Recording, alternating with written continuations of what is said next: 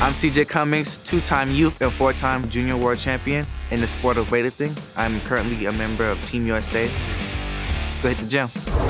Okay, so let's talk about cleans. The clean is the first step in the clean and jerk. So if you have a bad clean, it's most likely that you'll have a bad jerk. So you will make sure you get your clean down first because they go hand in hand. Clean and jerk is what I'm most famous for. So from snatch, you have the wide grip, but for cleans, you'll have a narrow grip like this. It's just so you can turn your arms out more. Because if you have a wide grip, your elbows will be down, but the point of the clean is to try to get your elbows up And comfortably resting on your shoulder. which if you have like a wide grip, probably gonna like slip down off your shoulder. Put your thumb over the bar and then put your hands over your thumb. So that way when you pull the bar, the bar won't slip out as you're lifting it. Butt down, chest up like this. You don't wanna arch your back because that's a possible chance of injury. A good lift will come from a good setup. Like with the snatch, you'll pull with your legs. Even though it looks like I'm using my arms, I'm actually pulling with my legs. I would say about 90% of this lift is with your legs and not arms. So yeah, leg strength is like very important when it comes to doing the clean.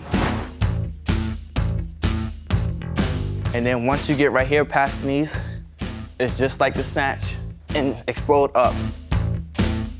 You don't want to swing it out because there's a possibility of you missing it. Just keep the bar in close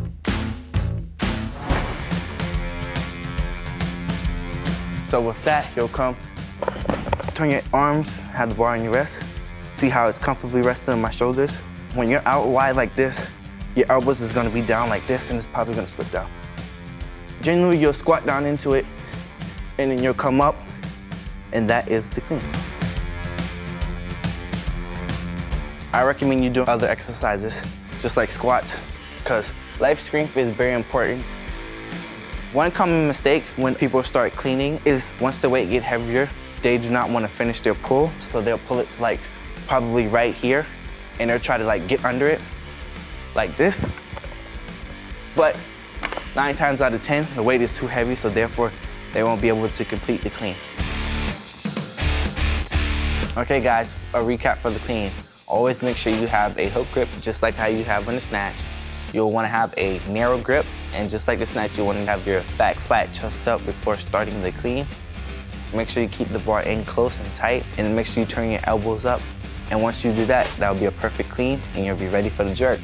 Thanks for watching. Check out more of my tips here. Hi, I'm CJ Cummings, two time. Oh my gosh. All right. That's okay. Yeah.